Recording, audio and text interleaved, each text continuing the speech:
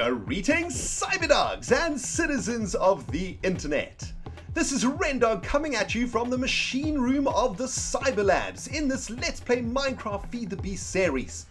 In the previous episode, we were hunting down Endermen for their Ender Pearls so that we could make some more autarkic gates. And in this episode, my friends, we are going to be working on a brand new factory for the Renstar, this time making electronic circuits. It is going to be an absolutely jam-packed episode, my friends, and I cannot wait to get started. I hope you have a tasty-ass beverage and some crunchy-ass snacks.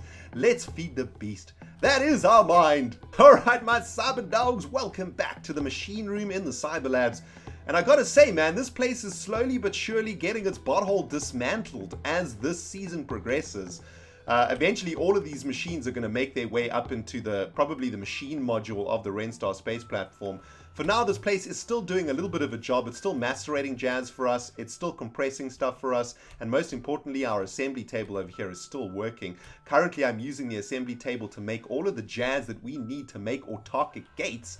And autarkic gates need quite a lot of stuff to produce. We need gates and pulsating chipsets and redstone iron, chipsets. And all of these things are made in the assembly table too. So uh, as you can see, the pulsating uh, chipset needs redstone and ender pearls, which is why we went on the hunt for ender pearls. And uh, I've been doing this for about, I don't know, 20 or 30 minutes now, and I've only managed to make 10 pulsating chipsets and a couple of redstone chipsets. This thing takes a butt long time to create the items that we need, which is uh, annoying. uh, but it's got to be done, man, and we are going to be using those autarkic gates to create our brand new um, electronic circuit factory. And while this assembly table is plugging away, my friends, I want to do something a little bit crazy and a little bit fun to start this episode. And uh, this is inspired by one of you Cyber Diggity dogs who left a comment on the previous video, man. And one of you guys suggested maybe using the portal gun to get those villagers from that village in the previous episode, the Mount Vesuvia village, as one of you called them, into Rentown to become new citizens of Rentown, and more importantly, to eventually become crew members of the Renstar space platform. And that is a freaking genius idea, man. The more that I thought about it, the more that I realized when the Renstar space platform is complete, we are going to want crew members for that bad boy. And we're going to have to start scouring the land to find villagers and to basically force the villagers to become crew members of the Renstar space platform. Uh, remember, the Renstar is going to suck up the resources of this planet, and that includes the villagers uh, that are found across the worlds inside of their own villages, man. So, you know, it's just got to be done. And I thought that was an absolutely awesome idea by one of you guys. And why don't we start off today's episode by getting those freaking villagers into Rentown. And uh, I think the way that we will do it, let's open up a dark blue portal over here. This will take us back to this village over here. And we can start pushing these these villagers into the light portal, thus pushing them into Rentown. They can go and settle there and uh, eventually become crew members of the Renstar. Attention, citizens of Vesuvia Village! Very shortly, the atoms of your bodies shall be discombobulated and then rearranged via a portal in a place called Rentown. You will then spend the next six months of your miserable lives studying to become crew members of the Renstar space platform. And this space platform is going to suck your planet dry of resources, so I suggest you study hard. Ah, thank you for your attention. Alright guys, we are now ready to start migrating these villagers to Rentown and what we got to do is open up a light portal, push these suckers through there, get in the freaking portal. There he goes, that's one down. Um, maybe what we could do is leave two villagers back and maybe they could reproduce and that way we could basically use this village to, to produce brand new um, members for Rentown and for uh, the, the Renstar space platform. Hey, this is sweet, bros. We could just open up a portal underneath their legs, and that's just going to suck them straight into Rentown. They don't even have an option. Um, how many villages are actually left here? Have I left any? Hmm. There's got to be a few left, right? Oh, there's one. um, is there another villager around here? Or have I literally stolen them all? I think I may have stolen them all. Alright, well we might as well send this last lone guy. Check how lonely he is, man. Lonely. Oh, so lonely. Bam! Get your butt in there, man. All your friends are waiting for you on the other side. Welcome to your new home, citizens. This place is called Rentown, and you can now settle in and do whatever the jazz it is that you do. You have access to an infinite supply of apples up in here. You also have a cyber laboratory below you, and if you look up, there is a giant space platform being crafted. So all in all, not a red, not a bad place to be, if you ask me. It's kind of cool around here. Um, welcome, settle in, and may you populate profusely. Ah, thank you. Alright guys, welcome back to the machine room in the Cyber Labs. That was some sweet ass fun and thanks again to the Cyber Dog who gave me that awesome suggestion, man. But we are in here waiting for this freaking assembly table to craft all the stuff that we need. Currently I've got it set to make redstone chipsets so that we can make some more gates. We've only made one gate so far and we need these gates to make autarkic gates. So I think what I'm going to try and do is upgrade these machines over here that are giving power to the assembly table by giving them each another electric engine. I'm not sure if this is actually going to increase the speed of uh, the assembly table, but it's definitely worth a try because I have been waiting for about 15 minutes or so now. Um, and when I've done this in the past, I've literally just stood here um, and gone and made a sandwich or something while the assembly table has been doing its business. I mean, it, it really does take a butt long time to make items in this assembly table. And uh, I kind of want to see if maybe we can find a more efficient and faster way to make these things. So I think what I'm going to do, I stole some electric engines from over here. Uh, this is an, some unused jazz going on over here. So why don't we pick up some of this um, glass fiber cable too. Probably going to need to pick up a couple of these levers too. And yeah, the disassembly of the machine room continues. Um, I don't even know what we were doing here, man. I think we were filling up, we were filling something up, weren't we, with these uh, magma crucibles. Yeah, we were, oh, oh yes, I was using this to make the, um, those redstone conduits that power up the quarries. Um, that's what we were doing over there. Anyway, uh, let's see if we can get these electrical engines powered up somehow. Let's just get up here. I mean, all we're going to need to do is run some more cabling um, up here. It's looking kind of like everything's looking kind of neat right now, right? But that is all about to change. There we go. There's another engine down there. I'm not entirely sure what we're going to do with the Cyber Labs, like once the Renstar space platform is complete. Do you think we should like blow it up? I kind of just want to shut it down, you know, and like take all the light out of it. That's what I was thinking about doing. Like just taking all of the light out of it might be pretty sweet. Not entirely sure why. Oh, there we go. The engines have started again. It's kind of weird. Um, right, what we do need to do though is get some levers in place for the new engines, right? Because we need to get these things fired up at, at, all times. Maybe what we should do is use redstone torches, actually, come to think about it. Redstone torches is probably, they're probably going to work better. Um, let's have a look. Have we got redstone torches up in here? Yeah, let's get a stack of those. Hopefully this is going to dramatically increase the speed of the assembly table. We're adding another four engines, so theoretically we should be doubling the speed of the assembly table over here, but only time will tell. Right, let's get a couple of redstone torches in place. What in the jazz? Why can't we place this here? Alright guys, I figured it out. There are micro blocks in the way, and that's why we can't place these redstone um, torches on these particular blocks over here. So let's just clear out all of this jazz like this, get rid of the micro blocks, and get those redstone torches in place. There we go. That's definitely going to increase the speed. There we go. All of the four new engines are running. Is this one running? Should be running. Oh, it's not connected. Let's get that powered up. Kaplayum? There we go. All right, so the assembly table should be pumping now, man. Let's have a look. It's definitely... Oh, there we go. Its energy rate is way above what it was before. Before, the energy rate was dropping down to zero as the assembly table was consuming more power that it was actually getting. Now, it's getting surplus power, which is going straight into storage. Excellent, excellent. That's great. We can. It is actually working much quicker now, so that's very awesome. Um, we've made a whole bunch more redstone iron chipsets and a whole bunch more of these redstone chipsets, which is exactly what we need. Um, looks like we can make 12 autarkic gates. So that's we're going to need 12 gates to make 12 autarkic gates. So we need another um, eight redstone chipsets. So I'm just going to let this thing build another eight redstone chipsets. Actually, we only need another. Um, what, another six redstone chipsets. Yeah, sweet. All right, awesome. And now it's going so much faster too. So guys, I'm going to plan this sucker, wait for this assembly table to do its business, and it's probably going to take me, I don't know, 30 to 40 minutes, I guess, to build these autarkic gates. But hopefully now that the assembly table has been jazzed up a bit, it'll take a bit quicker. But guys, by the magic the, of the internet, on the other side of this kaplam, all of this jazz will be done. Kaplam! Alright guys, welcome back. Progress is being made and also I have spent some time cleaning this place up man. It was just looking too damn ugly and I could feel the OCD around the world kicking in.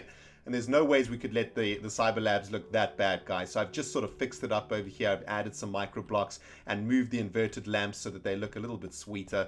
And it's actually looking really cool now, I think. Looks, it looks better than it did before, which is awesome. Uh, we have now finished creating 12 redstone chipsets. We've got 12 pulsating chipsets, which is awesome. And now what we need to do is make some redstone iron chipsets, which, I, which I'm working on now. But I think the first thing that I actually want to do is make um, the gates. So to make or, or, to make gates, we just need redstone chipsets. That's what we need. All right. So I'm going to get the chipsets in here, and I'm going to set production to create gates. We need another 11 gates, and then we can proceed to make another 10 redstone iron chip sets. And then we will have enough to make 12 autarkic gates, and then we can get up to the Renstar and start working on a factory. Whew, man. What a freaking episode. Kaplaya. Alright, Cyber Dogs, welcome back to the assembly area and we have just finished crafting 12 redstone iron chipsets, which means we have everything we need to make 12 more autarkic gates, which is absolutely amazing news. I have also added three more engines to our assembly table array just to try and speed things up a little bit more. And let's have a look. Yeah, I've managed to get the energy rate up to 16.6 MJs, which is awesome. And this looks like it's going to be crafting our autarkic gates pretty quickly, which is awesome. And in the meantime, guys, I've also been tapping the rubber tree farm for some sticky resin. And the reason for that is all going to become clear once our autarkic gates are ready, guys. But for now, I'm going to kaplam this sucker until these autarkic gates are ready. I'll see you in one second. Kaplam! Alright Cyberdogs, welcome back to the machine room in the Cyber Labs and I am so pleased to announce that our assembly table has now finished assembling 12 autarkic gates which is exactly what we need for today's episode. I actually ended up adding another two electrical engines to each of these assembly lasers. I'd forgotten how long this process actually takes. It's quite ridiculous how much time assembly tables take to create stuff. Uh, in the meantime, I've been doing a whole bunch of maintenance work, smelting down aluminum, smelting down sand, getting a whole bunch of resin from our uh, resin forest. And uh, the reason that we need resin, guys, is going to become clearer on it later on in this episode. But before we head up into the Renstar to work on our next factory, guys, I just have a few things to do. I wanted to pick up these copper cables because we're going to be needing them for today's build. And I wanted to head into the furnace room over here to smelt down this resin that I collected.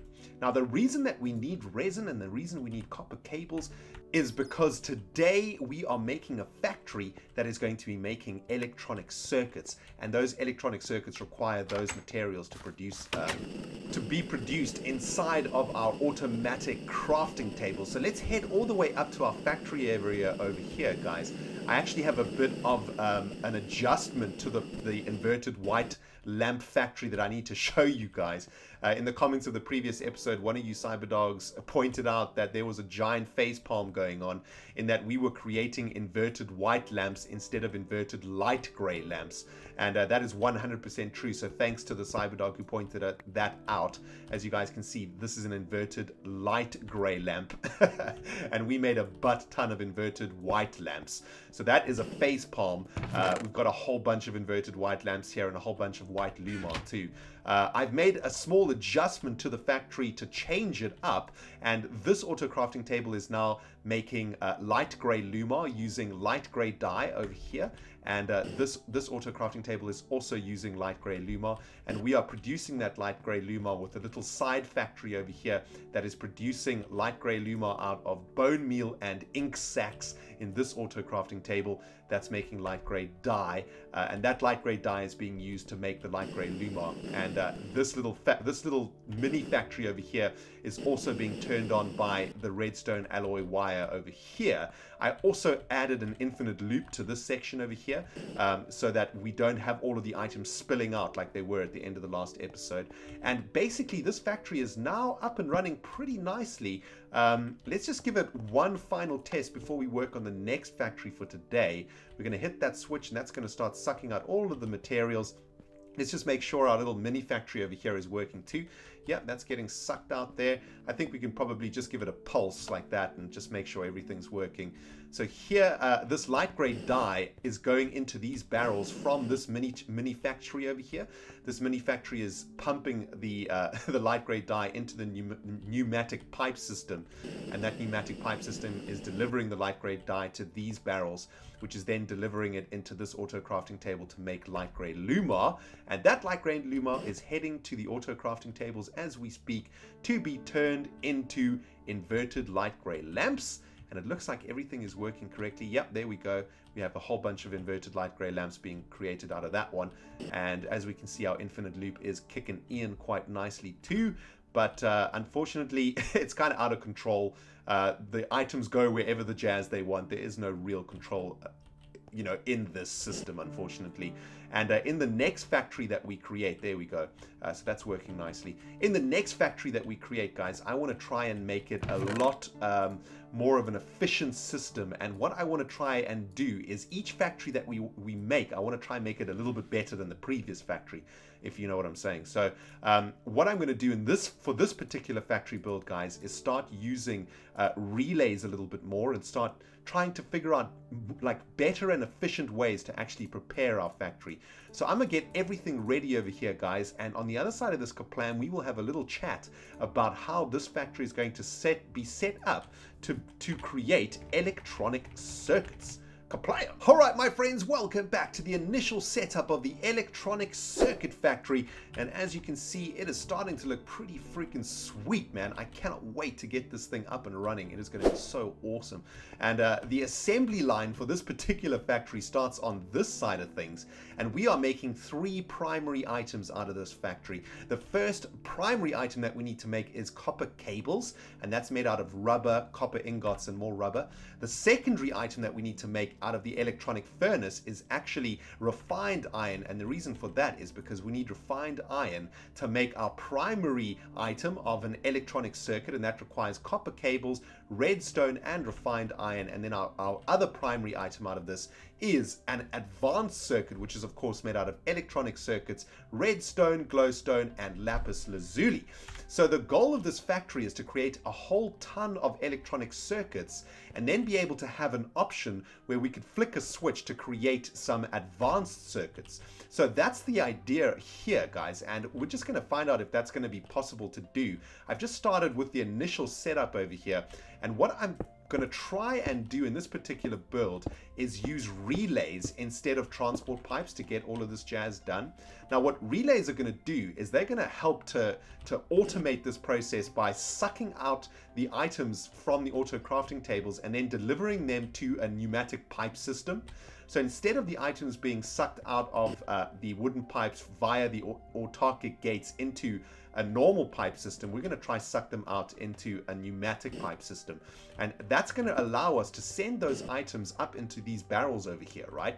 And the reason that we need to do that is going to become really clear now, guys. Why don't we get these barrels set up? So the first one what, uh, that we need is rubber and copper. Hopefully I've got a copper ingot in here. No, I do not. All right, my friends, welcome back. Just went to the storage rooms to get a stack of copper. So let's get these in place now. So that needs copper and rubber for this auto crafting table.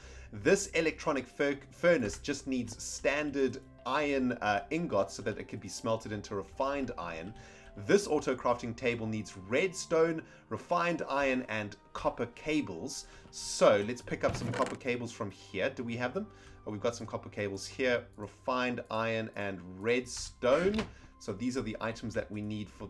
Oh, oops, my bad. Oh, you can actually place those. I didn't know that. Um, you learn something new every day, my friends. All right, there we go. So redstone, refined iron, and copper cables for this auto crafting table. And then this final auto crafting table needs an electronic circuit, glowstone, redstone, and lapis. So let's get that in place. Where is our electronic circuit gone? Alright Cyberdogs, there we go. All of the ingredients have been added into the production line for the electronic circuit factory and this barrel over here is going to be our primary electronic circuit barrel and then we'll have another barrel over here for the advanced electronic circuit. I've just started working on the pneumatic pipe system and uh, installed a relay over here to this auto crafting table and this is going to make this entire factory run a lot more efficiently than this one I think. And the reason for that is because this auto crafting table is going to be making copper cables and we're going to be using the pneumatic pipe system to deliver those copper cables into this barrel over here. So we don't have to make these sort of messy freaking matrices of uh, transport pipes if we just use the pneumatic pipe system. Because the pneumatic pipe system is a smart piping system that will send the items to the barrels that are being produced on the production line. So the, exactly the same thing is going to apply for this auto crafting table over here that's making electronic circuits. So if we just continue to add this to this pneumatic pipe system over here, let's get a, a wooden transport pipe into the back of this auto crafting table and add another relay into there. And then all we need to do is connect this relay to this pneumatic pipe system. We can even just do it like this, right? So when this auto crafting table makes an electronic circuit, this relay is going to send it into, into the pneumatic pipe system, which will deliver it directly to this barrel over here. What's really awesome is that we can also connect the pneumatic pipe system to this pneumatic pipe system, which is connected to the storage rooms in the Cyber Labs. And that means all of these items that are coming into the storage facility of the Cyber Labs will be delivered up to these barrels over here, thus stocking this particular electronic circuit factory. So that all works pretty freaking well if you ask me, man. Let's just get all of these pneumatic pipes installed like this. There we go. So now we have the food, if you will, coming into the electronic circuit factory. And now all we need to do is wire up the delivery pipes so that these auto crafting tables can get the stuff that they need. And then we can start working on using redstone to get the whole thing wired up and uh, get this puppy fired up and see it freaking working in action, man. Alright guys, welcome back. It is starting to look pretty awesome. Just installed all of our autarkic gates over here and uh, I think we might be one short. I think there are a couple of autarkic gates somewhere in the Cyber Labs though, so I'll just go and dig them out if we need them. But uh, there we go, guys. I've installed all of the autarkic gates into the wooden transport pipes. And now what we need to do is exactly what we did for this factory and create a redstone um, delivery system so that we can actually turn this factory on at the flick of a switch. So we're going to do exactly the same thing. Let's add a line of um, iron blocks like this. And let's get some red alloy wire also. Have we run out of, out of freaking iron blocks? Yeah, it looks like it. Um, that's unfortunate. All right, let's get a, a, redstone alloy wire installed like this. And then what we can do is set up exactly the same system on this side using a lever to turn this sucker on. Um, let's just finish it off over here like so. But what we're going to have to do is separate this factory into two circuits, essentially, right? So the first circuit is basically going to end here at this point so this circuit or this system, I guess it's like a subsystem, right? So like this subsystem of this factory is going to create electronic circuits and then this subsystem is going to create advanced electronic circuits. So I think what we can do is use a panel to actually separate the red uh, alloy wire up here. And I think we need to separate it like that. One, two, three. No, one, one more in that direction. And I really like how like a, like panels cut the redstone uh, alloy. I think that's really awesome. One, two, three, four. I think that's about right. Yeah, one, two, three, four. So the circuits are now cut. So we now have two separate circuits to work with. Let's just get one more iron block on each side of this uh, this factory like so. Then we can get some levers installed on both sides one there, and one there. And because we've cut the uh, red alloy wire over here, we've, we've created two subsystems to this factory, right? So this lever is going to turn on this these four barrels over here to create advanced electronic circuits in this auto crafting table. And this lever over here should turn on one, two, three, four, five, six, turn on these six barrels to create electronic circuits that are going to land up in here. So that is all working out pretty freaking sweet, my friends. The only thing we need to do now is install one more delivery pipe, which is probably going to need to come out of, hmm, let's have a look. Come out, come, come out of the back here. And then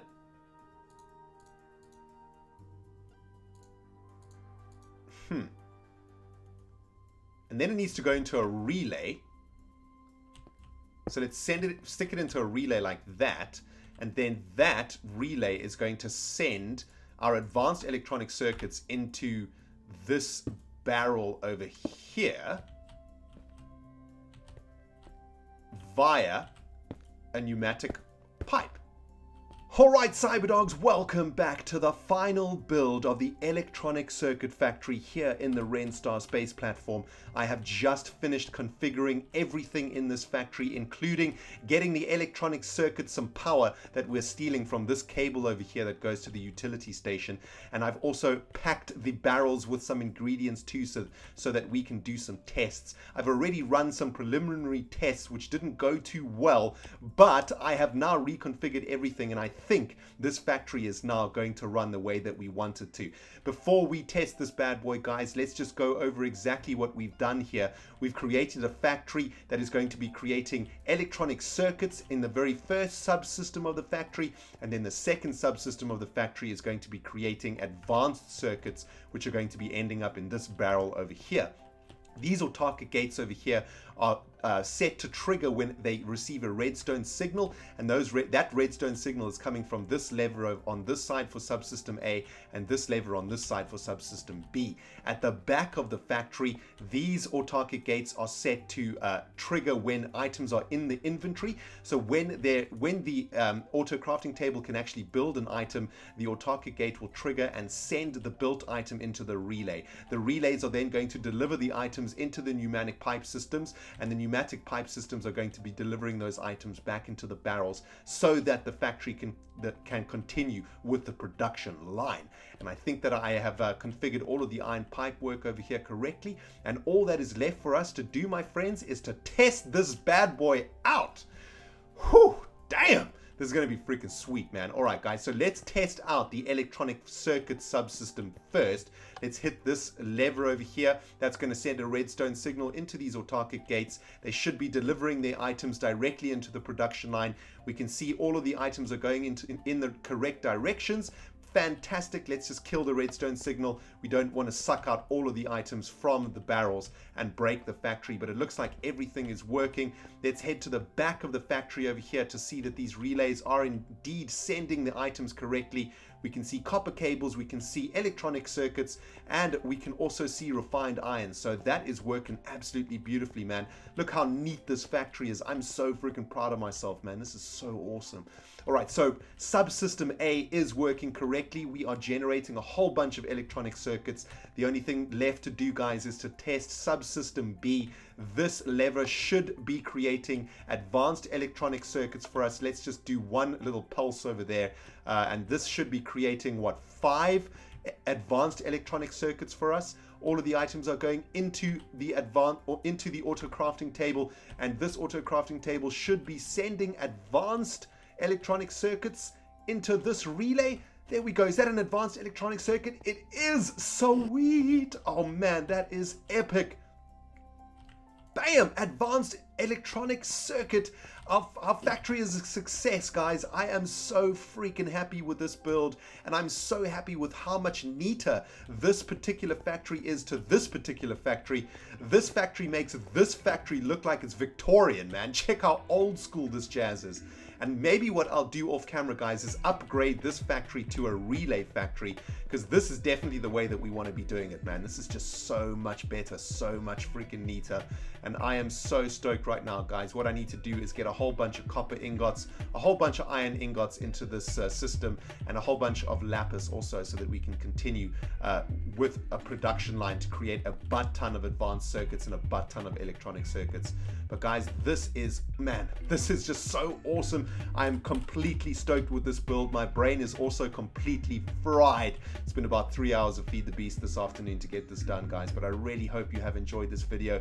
Let me know what you think about my electronic circuit factory and if there is any way that I could have made it any better. But that is all the time we have for today in this episode, guys. Thank you so much for freaking watching. My name has been Ren Diggity Dog, and we have been feeding the beast that is our mind, and I cannot wait to see you cyber dogs in the next video. If you enjoyed this video, guys, hit that like button. If you haven't subscribed yet, hit that subscribe button. We'll see you in the next video, my friends. Goodbye.